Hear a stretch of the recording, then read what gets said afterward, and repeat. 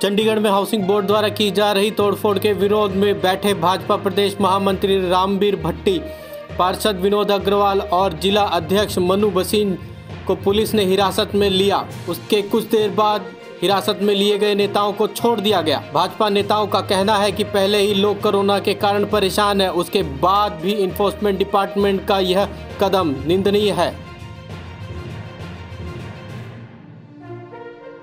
और जितने मकान बना रहे थे, जो हाउसिंग बोर्ड के चोर आज रिपोर्ट बना बना कर रहते हैं ना।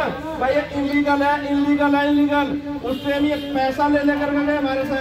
आज मकान तोड़ने के लिए और छोटे छोटे बच्चे हैं उस विधवा औरत में और छोटे छोटे से बच्चे हैं उस विधवा औरत में चले गए, वो दो बेचारे कुछ कह नहीं पाते। उसके बाद पाँचों का तोड़ दिया, उसके बाद दस का तोड़ दिया।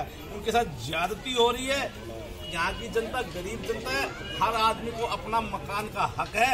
हर आदमी के सिर पे छत होनी चाहिए। ये हमारे माननीय प्रधानमंत्री मोदी जी ने भी कहा है। जो लोग चंडीगढ़ नगर निगम की तरफ़ से मैक्सिमम हाइट कितनी है? तीन मंजिल मकान होना ही चाहिए। तीन मंजिल मकान से ताज़ा अपडेट्स व बड़ी खबरों के लिए सब्सक्राइब करें आज प्रकाश टीवी और बेल आइकन दबाना न भूलें।